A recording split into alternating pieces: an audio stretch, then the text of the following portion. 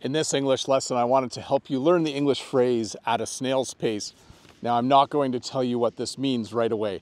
I'm going to give you a few seconds to think about this. If you know what a snail is, there's a good chance you know what a snail's pace is. So let me just go one, two, three, let you think about it for three seconds. It means to go very, very slowly.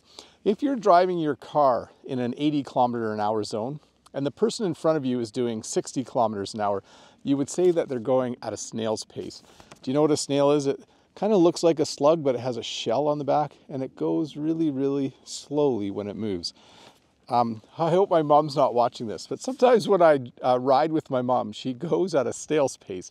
She's a very slow and cautious driver, so that's probably a good thing. But when I'm in a hurry, if someone in front of me is going really slow, especially if they're below the speed limit and they're going at a snail's pace, it gets me a little bit agitated. I'm like, just get going, man. It's time to go. I need to get to where I'm going. The second phrase I wanted to teach you today is to pace yourself. You can pace yourself in a number of different things. If you're running a race and you normally take a certain amount of time to run a kilometer, you want to make sure that you pace yourself and you run each kilometer about the same speed, maybe the last kilometer a little faster. But you can pace yourself doing other things as well. If you're going to eat a big meal, maybe you should pace yourself. Instead of eating really fast, maybe eat slowly, have some conversation, eat a little bit more. You might need to pace yourself to get it done.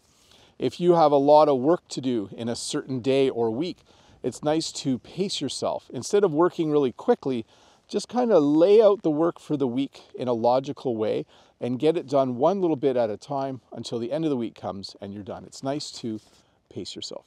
So to review, at a snail's pace means to go very, very slowly, and to pace yourself means to kind of um, do something in a organized, logical, timely fashion.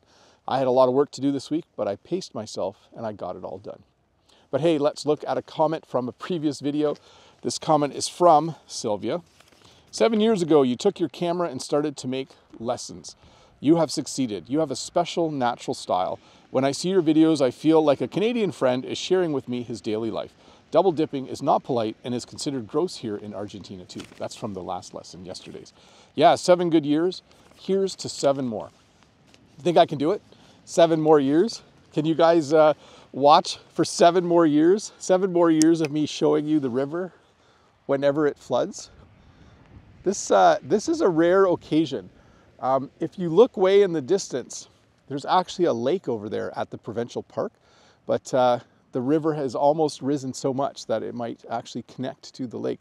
I'm not sure how well you can see this behind me, but it's definitely flooded. If we look over here, you'll see that these trees are actually in the water. So the river has really come up it's almost touching that big round concrete thing down there. That's one of the things we look at to kind of measure um, how much the river has come up. So definitely flooding.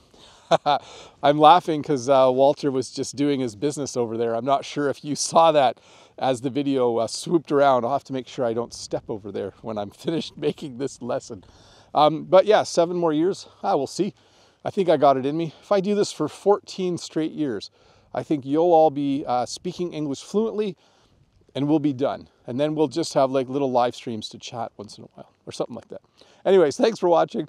I'm Bob the Canadian. I teach English here on YouTube. Thank you so much for watching. I think I just thanked you twice, but I'm extra thankful today. See you in a couple days with another short lesson. Bye.